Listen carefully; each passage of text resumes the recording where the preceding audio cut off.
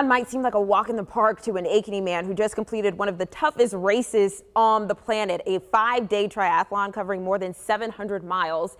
And not only did 52-year-old Donald Robinson finish, he won. It's called a quintuple Anvil, and each day consists of almost 2.5 miles of swimming, 112 miles on a bike, and then you finish it off with a marathon.